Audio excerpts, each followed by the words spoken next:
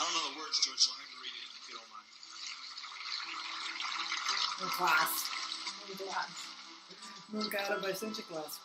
Now, the end is near, and so I face the final curtain. My friend, I'll say it clear, I'll state my case, with which I'm certain I've lived. That's the fool I travel each and every highway and more. Much more than this, I did it my way. Regrets, I had a few, but then again, too few to mention. I did what I had to do, and so it grew without exemption. I planned each careful course, each careful step along the highway, and more, more than this. Oh, I did it my. Yes, there were times I sure knew when did it off more than I could do, But through it all, when there was doubt, I did it up and spit it out. I faced it all, and I stood tall. I did it my way. I love, I loved and cried. I had my fill, my share of losing, and now as tears subside, ainda continua a. I find it all. Por enquanto tá bom. Bom, chegamos ao nosso amigo Elvis Presley hoje com a Nakshatra de uh. Vamos aqui novamente ao nosso layout. Espero que eu não ganhe problemas do YouTube de direitos autorais. Mas vamos ver o que, que acontece. Então, um, chegamos aqui a Shatabisha, Shatabishak ou Shatabishat, dependendo do livro que você lê. Vamos lá. Aliás, os livros estão aqui. Eu não peguei eles adequadamente. Vamos novamente a nossos amigos, apresentando todos de uma vez. Da Comila, The Nakshatras, The Stars Beyond the Zodiac. O que tem ficado bem interessante agora, entender o que é o Beyond the Zodiac. Vários insights hoje. The Book of Nakshatras, do Prash Trivedi, o primeiro é da Comila Sutton. E o terceiro, mais querido de todos, e o mais apanhado de todos também, seja bem verdade, é o da Radhe, Radhe, Radhe, The Divine Forces of Lunar Nakshatras. Muito bem. Então, vamos lá. Aqui temos a imagem de Varuna, que não é Varuna, é Varuna saindo de um oceano, carregando algumas coisas fantásticas, tendo como símbolo de Aquário, Saturno, Rahu, Poseidon, etc., que é associado a Netuno também. É, bom, mas isso é um outro papo. Tem essa questão de águas que fazem um grande percurso, o animal lá é o cavalo e também está associado a Hayagriva, que com um dos meus professores, né, o Sanjay, é, ele era devoto de Hayagriva. E o Hayagriva é meio que um Ganesha dos Vaishnavas, vamos colocar dessa forma, bem interessante. Ah, ainda no elemento de Akash, aqui governado pelo nosso amigo agora sim, Arro, Novinshotari Dasha. Um, que mais aqui? O símbolo de aquário.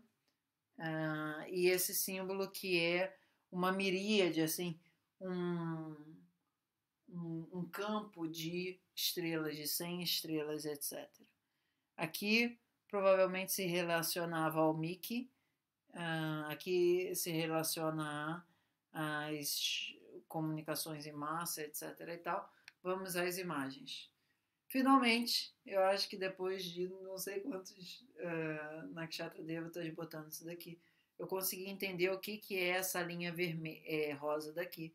Ela representa essa parte desse círculo, vamos colocar assim, dessa região que está na Nakshatra de Shatabisha, onde essa linha estrelada aqui é o Zodiac Belt. Então, a Nakshatra de Shatabisha ela fica meio que dentro do Zodiac Belt, mas um pouco para baixo também. Um, e essa linha que vai para a direita, ela meio que gruda lá no Capricórnio, no Macararashi. Uh, o Shravana também está aqui aparecendo, como pegando as duas constelações e etc. Então essas constelações, de fato, elas passam pelo, pelo zodíaco, assim, uh, é, o Zodiac Belt é o lugar onde o Sol passa, mas não é exatamente toda ela fica ali dentro. E agora eu estou conseguindo enxergar isso com mais clareza. Hoje é um dia que eu consegui enxergar muitas coisas com mais clareza, inclusive como resolver a questão para fazer hum, esse trequinho na testa, que vocês já devem ter me visto nos vídeos de Ayurveda lá, principalmente do Ashwini Ayurveda.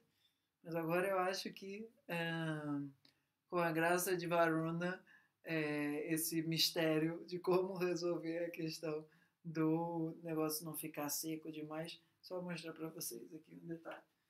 A grande questão é que eu ponho o pozinho aqui dentro. E aí ele secava, aí grudava, aí não sei o que, aí eu ficava no banheiro, etc. E era um porre, nunca funcionava. Agora eu decidi deixar na minha mesa do computador. E que isso daqui é um negócio de fazer massa também, acho que seja. E aí eu ponho um pouquinho d'água e ao longo do dia a água vai secando. O elemento da água tem a ver com alguma coisa aqui hoje. E eu consigo usar meio que é, sem ficar tendo que jogar o negócio fora, que era um negócio que também estava me incomodando. Essa Nakshatra tem muito a ver com mistérios, por mais que seja um mistério muito bobo. Eu estava com ele uns quatro meses ou mais, de como fazer para todo dia poder usar. Um, isso na testa. Por enquanto, isso continua como mistério, para não é, revelar todos, uh, para não revelar todos, porque essa nakshatra tem muito a ver com essa questão de um, cobrir e descobrir. Parece que, segundo a, uh, eu acho que é Arade, o, a palavra Varuna está associado à raiz vru. Esse vru tem alguma coisa a ver com esconder, cobrir, e etc. e tal. Uh, tem muita história sobre uh, o nosso amigo Varona hoje, ou Varona, que, que seria o mais correto, mas uh, vamos com calma. Então, a Nakshatra que o, o a estrela desses montilhão que o Prastrivedi coloca é essa gama mais 99 para formar essas 100, né, de chata, que significa 100 dentro do da constelação Aquário, que está meio que essa região daqui, do cinto da faixa. Acho que faixa fica melhor, zodiacal.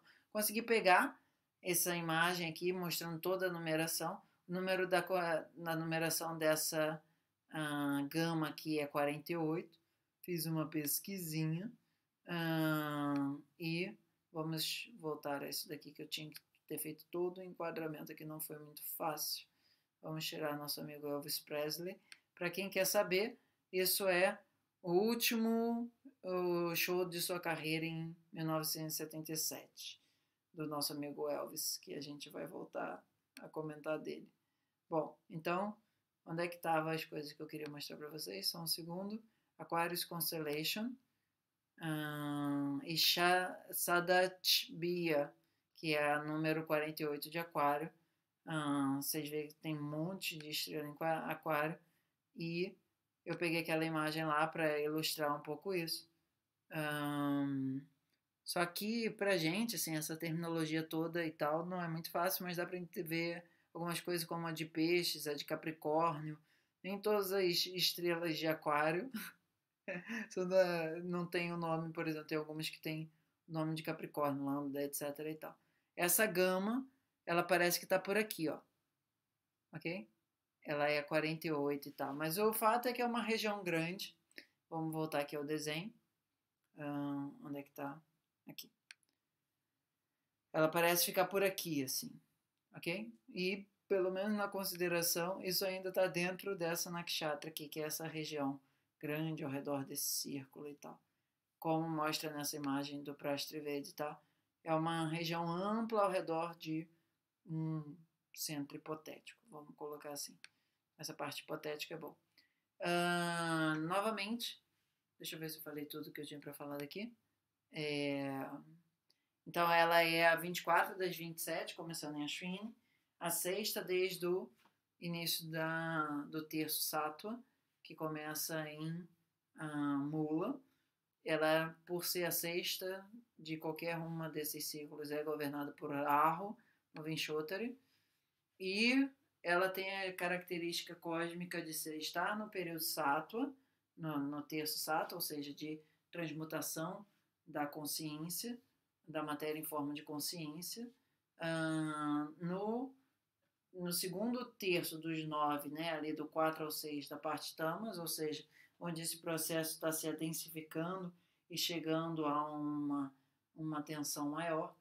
Ah, e dentro da 4, 5, 6, Rajas Tamas Sattva, é a sexta Sattva, fazendo com que esse processo ah, já migre, né, já abra a janela, já aponte para o terceiro terço dessas últimas nove, que vai ser Sattva, Sattva, aí vai ser de novo Rajas Tamas Sattva.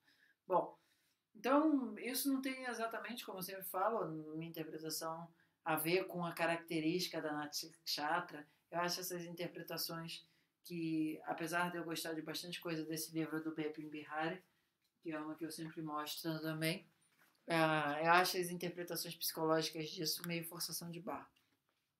Me parece over.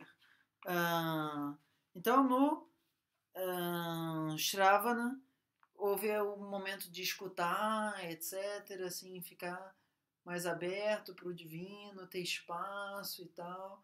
No danista você virou o hum, tambor, né, o, o damru do Shiva, e sempre aumentando a noção de que tem menos você, menos você, e agora é só, digamos, o círculo.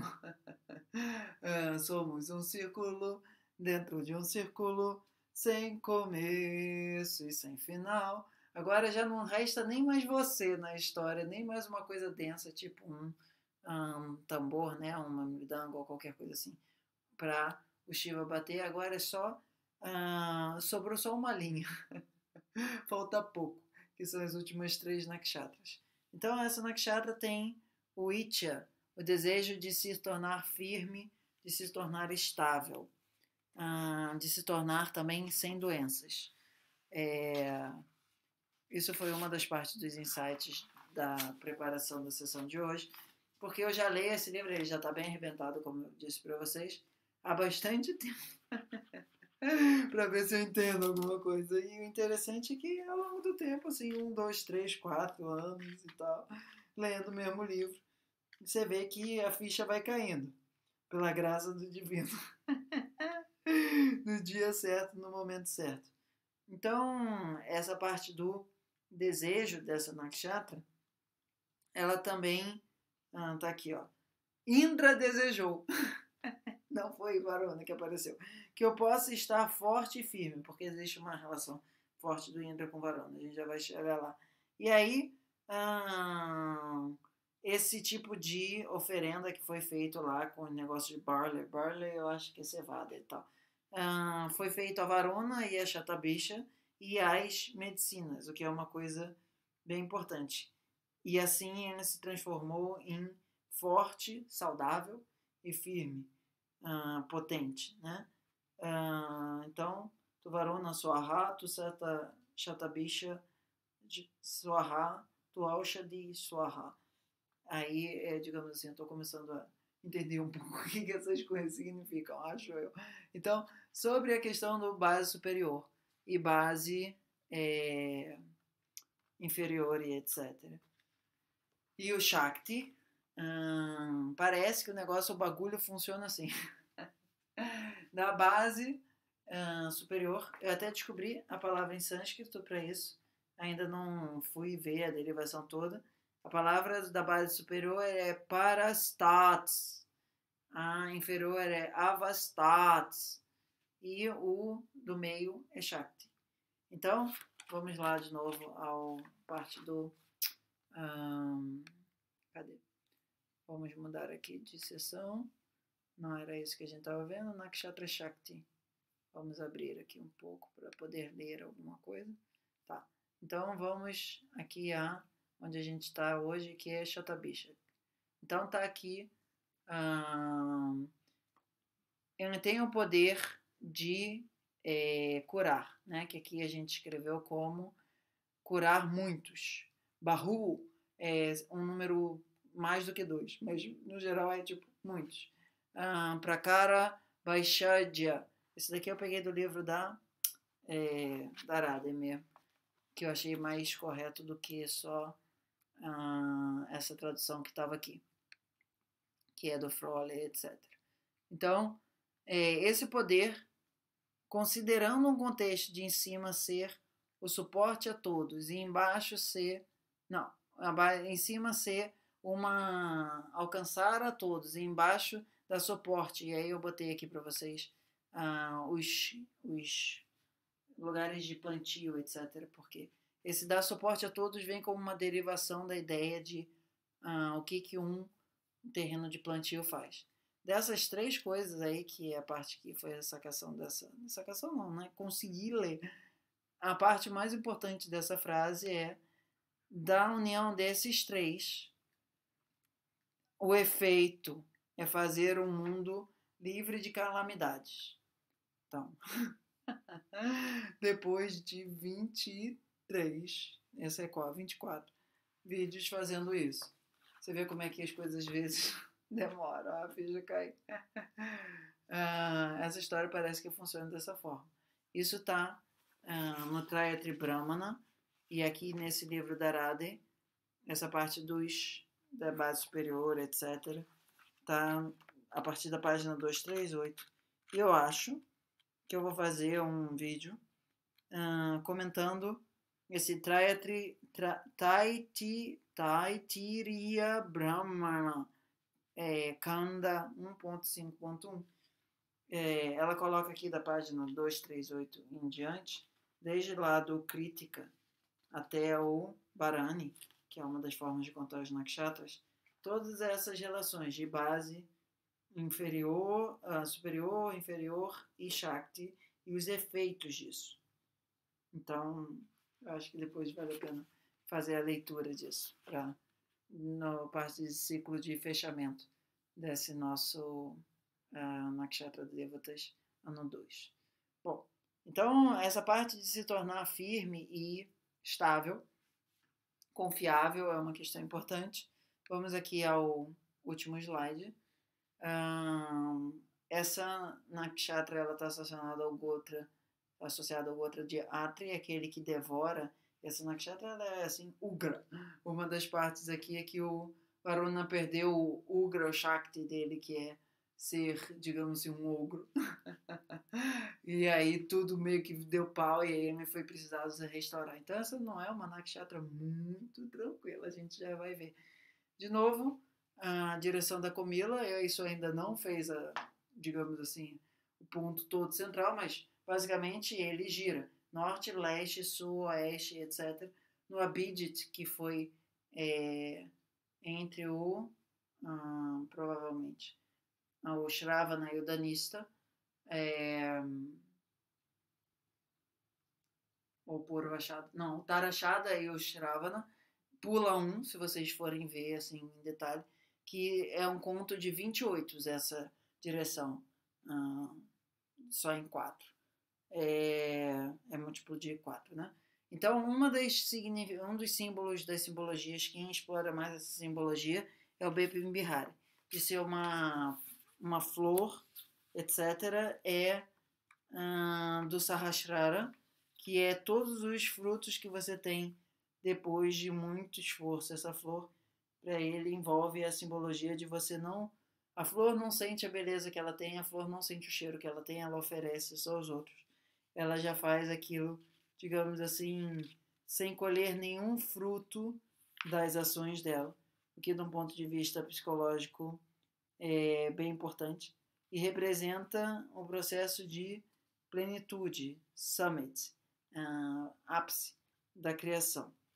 Então, essa flor, no caso, pelo fato de ter 100 pétalas, está muito associado a uh, o Sahasrara Chakra. É, que mais? O outro é o círculo vazio, e dessa parte do círculo vazio, quem reforça muito é aqui o Prash Trivedi, sobre a relação de estar tá dissolvendo algo, de estar tá fazendo com que as coisas elas tenham uma relação de borda, mas não tenham exatamente um centro. E algo também que tenha a capacidade de hum, manter, conter algo, como um lago, etc. É, não sei como é que ele pula disso para a ideia de, de ser uma capacidade de esconder as coisas, não fica muito hum, claro como é que ele sai do círculo hum, para essa capacidade de esconder e de proteger, mas é uma coisa que ele trabalha bastante nessa nakshatra, os segredos e esconder os segredos e aprender a quebrar os segredos. É uma nakshatra meio hacker.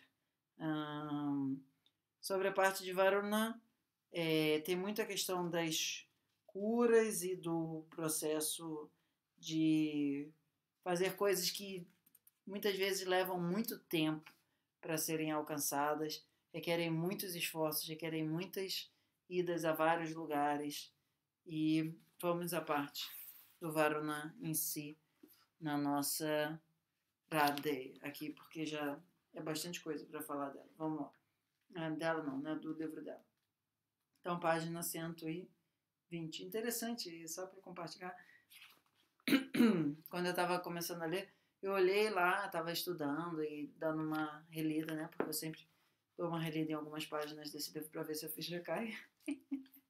e aí eu caí na página errada, no 220 em vez do 120. Mas esse 220 foi justamente o que me levou a ter a sacada do, dessa base superior e inferior, e do Shakti, etc., que eu comentei com vocês. Bom, então chegamos ao Varuna. Uh, o Varuna ele é bastante apresentado com Mitra, que é da Nakshatra de Anuradha, que a gente já viu lá para trás. O uh, Varuna também é bastante apresentado com o Indra, como sendo. E uh, só encontra o Varuna também. Varuna. vamos nessa. Então, cada uma das coisas. A parte do Mitra eu vou pular, porque a gente já falou. Uma das características de Varuna é que ele possa redimir a gente dos pecados cometidos. O Varuna, assim como Nriti e assim como Yama, é um daqueles que carregam aquela foice que é símbolo da morte nos nossos desenhos animados do Chico Bento ou do Cebolinha, sei lá o que, do Fantasminha do Maurício de Souza ah, mas não só, né? Então, essa característica do Varna é de manter a ordem e fazer com que as pessoas fiquem ah, fisgadas, içadas, assim, presas de alguma forma, enquanto elas não perceberam que estão fazendo merda. depois, só depois disso é que eles são soltos e tem essa característica de ser uma polícia, uma pessoa que fica é, mantendo a ordem no sistema. Então, o Indra, ele meio que conquista, uh, o Varuna, ele meio que é o corregedor. É quem passa e olha, olha tudo para ver se está tudo seguindo a ordem. Não é uma não é um devata assim muito associado a um comportamento amigável. O amigável é o Mitra, que ele é Mitra uh, Puta Daksha, ele é muito tranquilo, ele não vê problema em nada, não vê uh, erro em ninguém, não vê má intenção em ninguém. Enquanto que o Varuna é Rishadas, ele meio que destrói quem ah, precisa ser enquadrado sem nenhuma ah, sem nenhuma dó nem piedade. É um discurso mais duro, é um discurso de manter a ordem e a justiça. Nessa história aí de eleições, etc., eu acabei fazendo uma certa pesquisa, tanto do candidato A quanto do candidato B. E parece, apesar de não ter horário certo de nascimento, que um deles é uh, de Nakshatra Shatabisha, uh, o Chandra, né, a lua. Então, deixo vocês a encargo de saberem disso. Ah, propósito, se você estiver vendo esse vídeo em 2025, uh, esse vídeo está sendo gravado dia 19 de, novembro de 2018. Bom, então voltando ao Varuna, ele é um corregedor, ele está ali para manter a ordem na parada e uh, deixar a pessoa presa de castigo de alguma forma, suspensa, enquanto ela não uh, se dá conta das besteiras que está fazendo. É, o Varuna está muito associado a querer mandar, não é mandar, mas é ter jurisdição sobre tudo. Não ter nada que não possa ser é, regulado, é, historiado por ele. Tem a história do ah, Mitra com Varuna que dá a questão do nascimento do Vasista, que vem a partir da uma história de uma de uma apsara chamada Urvashi. Eu acho que é Urvashi, não sei, mas aqui está só Urvashi, etc. Que também vai aparecer lá no Mahabharata, oh, no Mahabharata, é, com Arjuna e depois eu meio que estou nesse momento na história lá do Mahabharata, mas uh, que vai fazer com que o Arjuna fique um ano eunuco naqueles no ano final dos 13 anos de retiro, retiro não, né, exílio. Um, e aqui aparece a história da relação de Varuna com Mitra, como ficando apaixonados por Urvashi e dessa uh, processo ter nascido o vachista através de uma, digamos assim, uma ejaculação por ter ficado taradão demais por ver a Urvashi. Então, esse uh, Devata sozinho, o Varuna, ele tem a característica de estar sempre olhando por, por tudo e para tudo, que é aquela questão do aspecto superior que a gente viu, né? É, ter um olhar que enxerga tudo, que nada escapa do crivo dele. É, é um Devata aqui no período védico extremamente poderoso, só que no período purânico ele praticamente desaparece. Talvez pela questão dos critérios que tem assim um pouco, digamos, problemático em relação à noção de fazer sacrifício, isso ser uma coisa externa, envolver matar coisas externas, que ainda dentro do período védico não era associado a uma questão socialmente problemática. E que depois, no período purânico, aquilo já era meio que bizarro demais. Então, esse Pasha, Pachapani, que é esse essa foice, né, esse nus, ele tem essa característica de ser uma coisa para deixar você ah, suspenso, de castigo, de alguma forma sendo torturado também. Ele é um cara ugra, lembra, né? Um, e é, tem a história do dropsy, eu não sei qual é a tradução, isso eu fiquei de ver e não vi. Uh, uma moléstia que está associada a essa nakshatra é dropsy, uh, que no Artava Veda, no período é pré-clássico do Ayurveda, antes dos Sanhitais e tal, do período dos Artavans. Vou publicar um vídeo em breve sobre isso, já fez o upload já. É... Nesse período, uma das doenças, hidropsia. E o que, que é hidropsia? Hidropsia eu acho que tem a ver com ah, suar. É... Não, deixa eu ver aqui. Hidropsia, o que é? hidropsia, o que é? Tem fetal, etc. E tal. Bom, a outropsia é a acumulação normal de fluidos nas cavidades naturais do corpo no tecido solar. Edema. Ah, tá. Hum, basicamente, edema. Simples assim. Então, tem umas questões de as pessoas que cometem problemas e ficam com edema, pelo menos edemas assim muito graves, eles no período védico eles eram curados hum, no período dos Artavans com encantamentos, pedindo a Varuna que tirasse isso, é, esse castigo, vamos colocar assim, hum, dele. Uma dessas histórias é a partir do momento aonde há um, um, não exatamente um rapto, mas uma é, um escondido. Ah, esse é um outro aspecto importante do Varuna, que ele meio que rouba a esposa de um cara e é, enquanto ele fica se escondendo nas milhões de águas dele, todo mundo seca ah, as águas dos mundos, o Soma seca também, a Sarasvati seca também, e isso faz com que o mundo todo fique sem água e só assim o Varuna seja descoberto.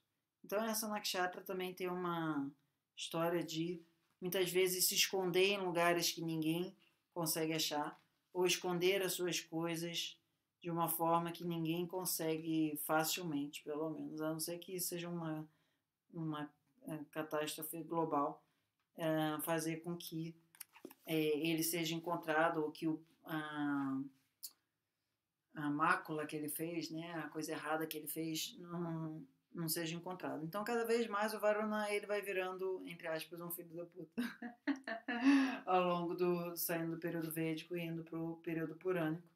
Ah, mas todos os devatas, eles é, não são representados como deuses no sentido católico da coisa, só fazer coisa certa. Eles muitas vezes são mais humanos do que mostrando características que fazem parte da existência na Terra também, e não só é, as coisas certinhas e tal. Então, o nome dessa uh, história tem a ver com uh, o nome de um sábio. É, e agora que meu vata não está pegando, mas o nome da esposa é Badra, que é quem foi retornado pro uh, sábio que tinha o Varuna tinha roubado ela. É... Bom, então essa parte aqui já está suficientemente vateada. Vamos para outra parte porque eu não achei o nome do cara.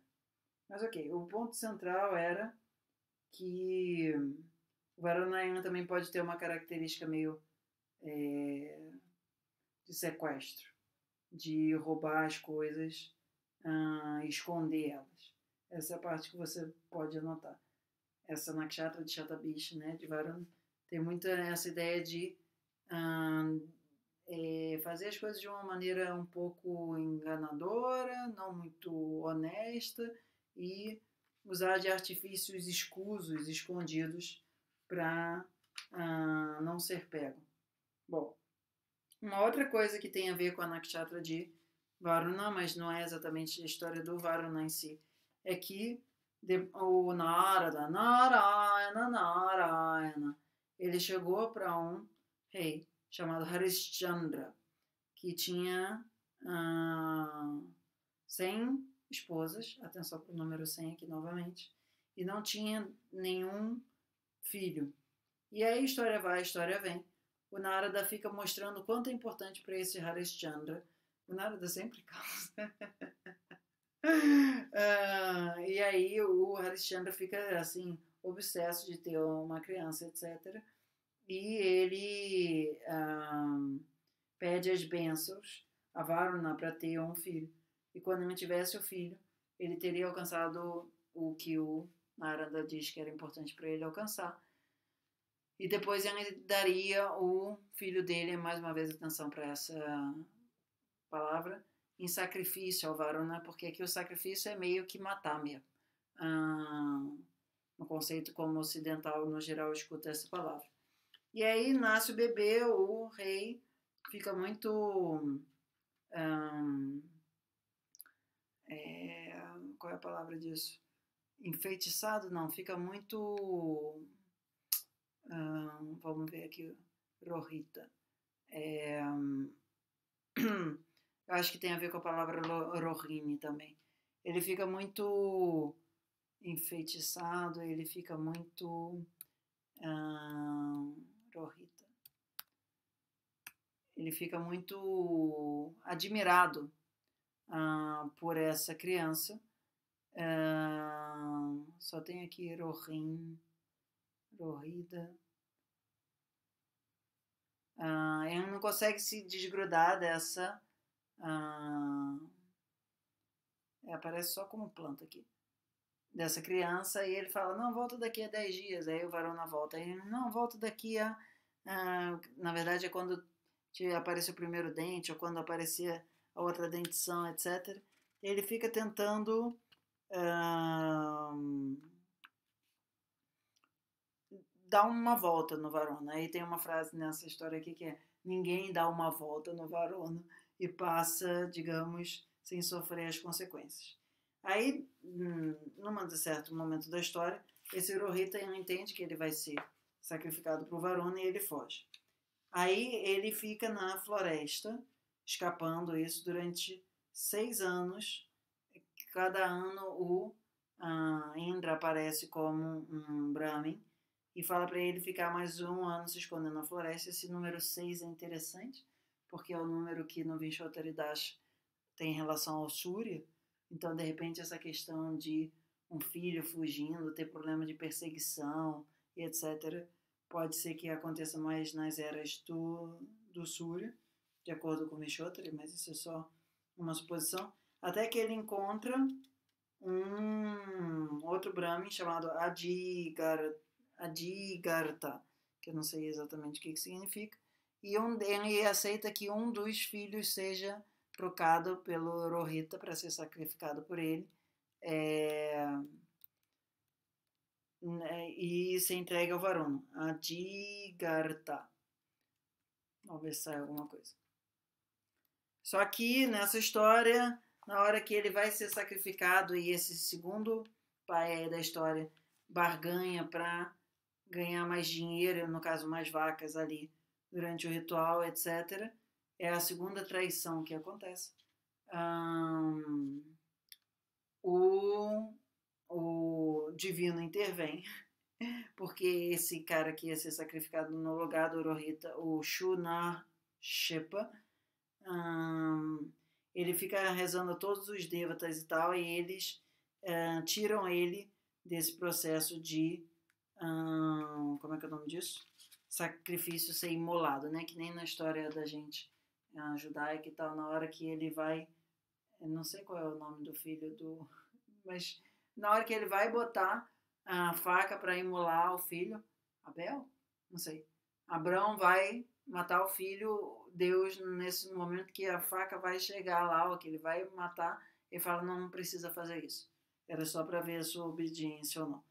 Uh, nesse caso daqui, essa criança, né, que ia ser sacrificado, vira meio que filho do Vishwamitra, uh, e isso vai dar, de alguma forma, na história, o nascimento dos Shudras.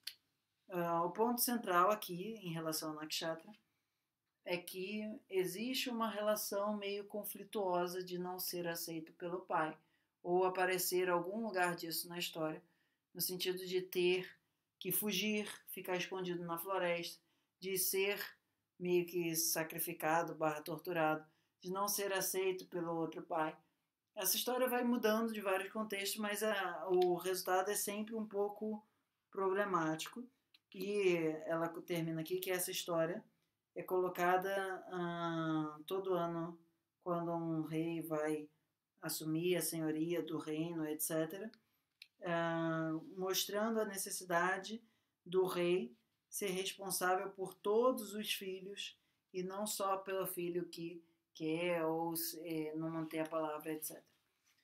Por fim, a relação do Indra com Varuna é a questão do, da força do Indra e da pompa, da majestade, da, é, da ordem que o Varuna traz, como sendo aquele que é capaz de manter a ordem na bagunça, independente do que está rolando. E o, o, a ideia da cultura védica é que ter um cara assim mais durão que faz as coisas serem obedecidas e tal é importante. Aquele que é o corregedor, né? Porque se isso não acontece dessa forma, a história desanda. Ah, fica tudo muito solto. E para isso é preciso ter um Devata meio hum, linha dura. um, então, depois disso, o Varuna vai ser mais associado no período purânico a. Vou voltar aqui. Vai ser mais associado ao período purânico com o Senhor dos Mares e das criaturas marítimas, que vai aparecer aqui ele. Interessante que esse crocodilo, de alguma forma, parece ter a ver com o que é a representação védica do Makararash.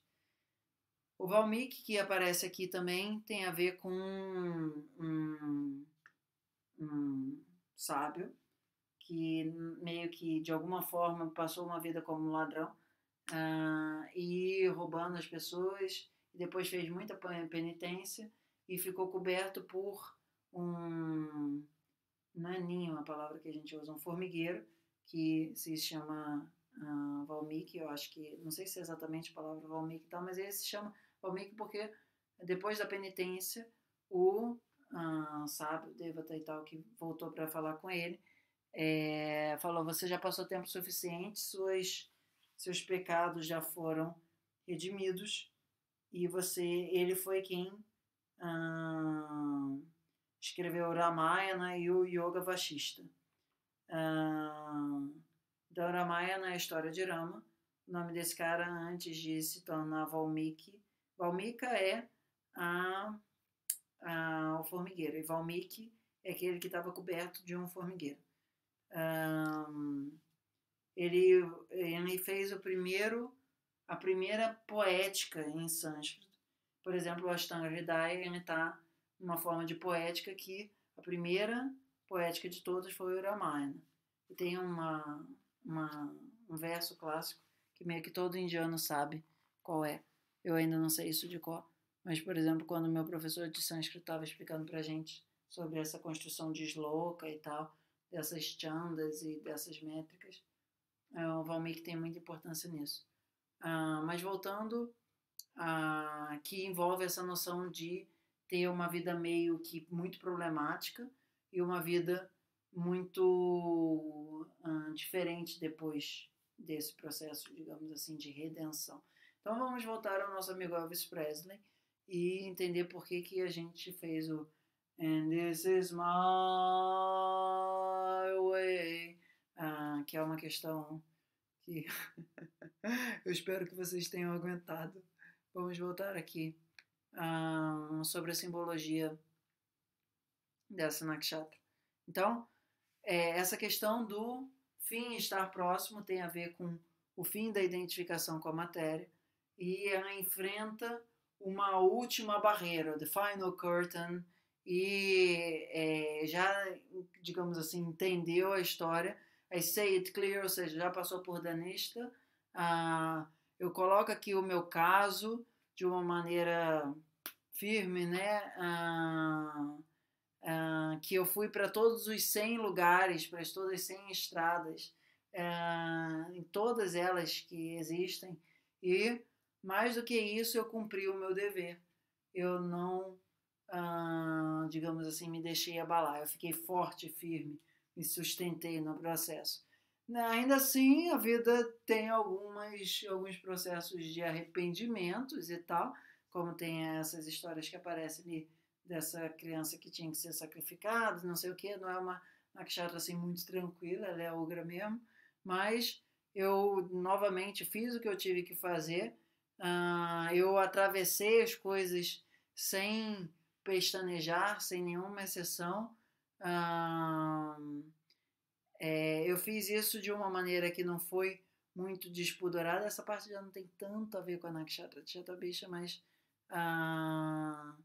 essa parte daqui teve vezes, there was time, que eu engoli, é, eu tive que deglutir mais do que eu podia mastigar, mas ainda assim é, eu engoli e dei conta, é, e o que tive que cuspir depois, cuspi. Ou seja, eu me mantive firme, com a cara de pé, né, com o nariz ah, sem abaixar o nariz, e eu fiz isso de uma forma, da minha forma. E por que o Elvis Presley? Porque o nosso amigo rock and roll, ele também, segundo o Prash Trivedi, ele tem a lua nessa nakshatra, não diz exatamente hum, qual o padá e tal, mas representa a característica que para ele é muito importante dessa nakshatra, que é da comunicação em massa, hum, ter as características mais, digamos assim, perturbadas dessa nakshatra, que apesar de brilhar muito e etc., ter muita questão de intoxicação, é, um ego muito inflado e tendências autodestrutivas. Vocês viram lá no vídeo que assim, eu não estava muito saudável ali, né? Então, no ponto de vista do Ayurveda, só para fechar, essa nakshatra é muito associada a Ashwini. Tem muitas vezes que vocês vão encontrar falando de que um problema em Shatabisha é resolvido por Ashwini, mas também Shatabisha é um grande, digamos assim, mago curador que consegue ter os insights que o Rahu, digamos assim, consegue fazer e fazer com que muitas coisas de tratamento através de plantas seja feita. É, eu particularmente tenho uma relação interessante com essa Nakshatra, porque ela é meio que a cúspide da minha casa 2 está nela. E, por exemplo, Danista não tem nada muito ativo no meu uh, mapa de danista. Mas de chata bicha, eu acho que eu uh, posso dizer que eu já tive vários eventos na minha vida que, em relação à descrição que a gente conversou aqui, nossa, faz muito sentido. é, o Jutsu é um negócio fantástico mesmo. Então, vocês que assistiram aí pacientemente essa, sei lá, meia hora de vídeo, vamos ver quanto tempo de vídeo já tem aqui agora rolando. Nossa, 47 minutos, não, mas ter socorro. Um, obrigada aí pela atenção. Mas tudo bem. Um, e quem eventualmente quiser fazer consulta e tal, tem o e-mail do thiagonamaster.gmail.com e tudo dando certo na descrição aí também tem o um link para o nosso curso Relógio do Karma. Se vocês quiserem participar, mandem, eh, entra no formulário lá e preenche. Que dependendo de quando você estiver assistindo isso, vai ser a primeira, segunda, terceira, centésima a turma do uh, relógio do carro. Tá bom, pessoal? Tá na hora, chega. Hora de dormir já. Valeu. Namastê e até uh, Purva e Uttara Bhadrapada. Vamos que vamos.